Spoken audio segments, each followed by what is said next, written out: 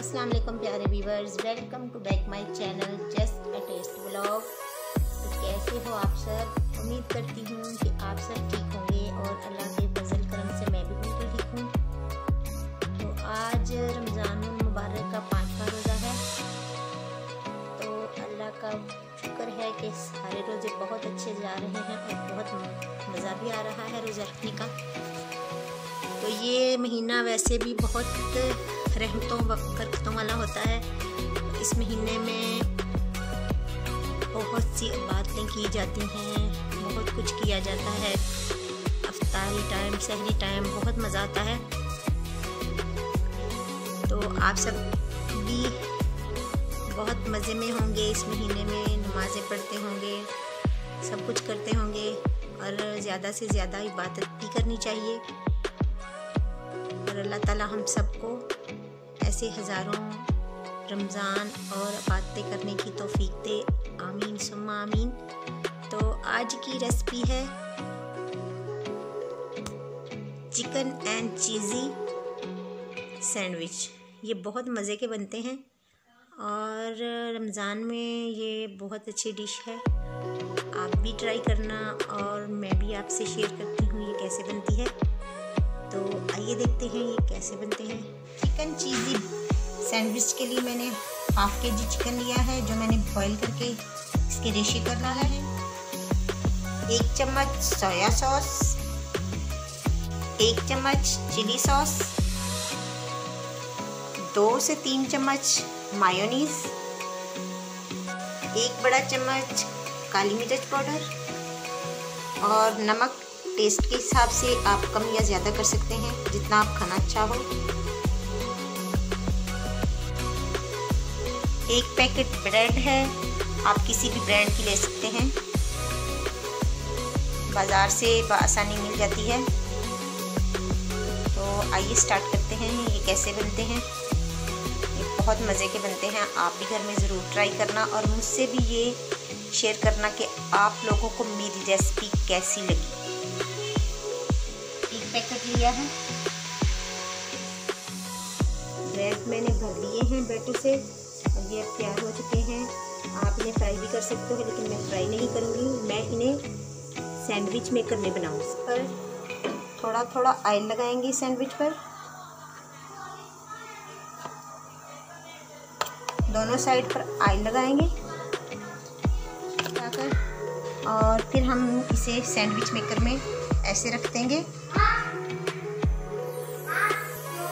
दोनों तरफ़ से आयल लगाकर सैंडविच मेकर में हम ऐसे रख देंगे।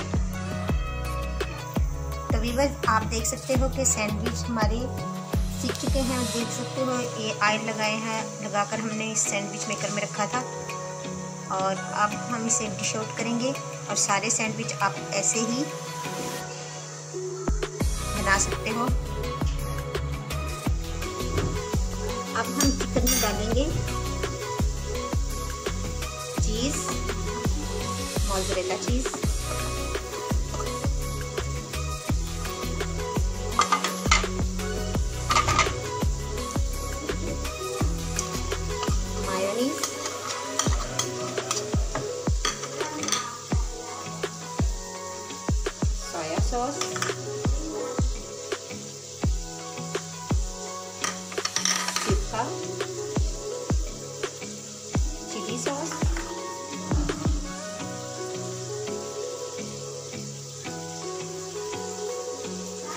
black pepper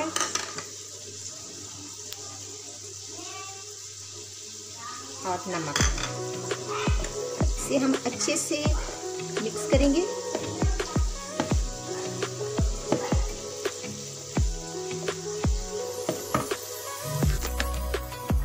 तो ब्रेड्स के हम चारों कोने उतार लेंगे।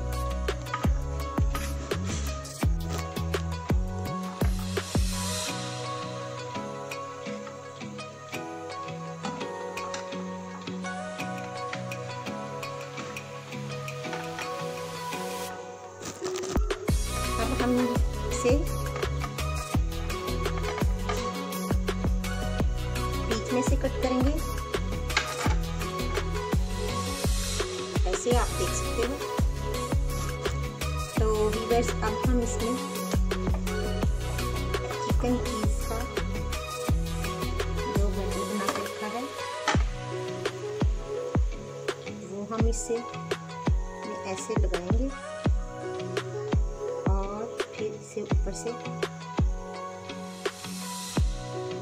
बंद कर देंगे।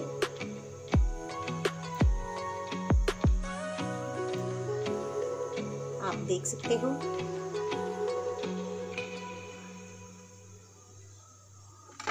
ऐसे ही हम सारे सैंडविच बनाकर रख लेंगे पहले। तो वीवर्स सैंडविच हमारे हमने सैंडविच हमने तैयार कर लिए हैं। अब हम इनको टोस्टर में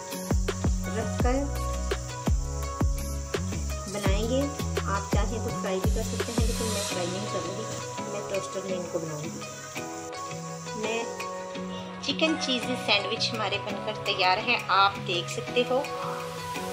और ये बहुत मज़े के बनते हैं और ये मज़े के बने होंगे। अभी तो हमारा रोज़ा है, खाने के बाद पता चलेगा। और ये सच में बहुत मज़े के बनते हैं। आप भी घर में ज़रूर ट्राई करना और मुझसे भी शेयर करना कि मेरी रेसिपी आपको कैसी लगी। और ये देखिए आप अंदर से भी मेल्ट हो चुके हैं और चीज़ मेल्ट हो चुकी है और बहुत मज़े की लगती है, आपको पता है। और बच्चे बड़े सब बहुत शौक से खाते हैं। तो वीवर्स रोज़े का टाइम भी करीब है। तो तैयारी हो रही है। इस टाइम जल्दी जल्दी में हर काम होता है।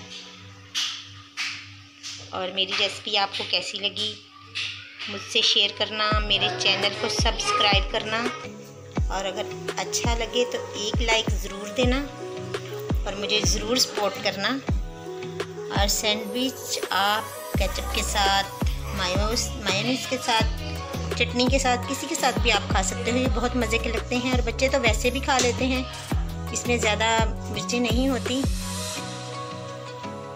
और अगर आप स्पाइसी खाना चाहें तो आप आप रेड चिली भी डाल सकते हैं।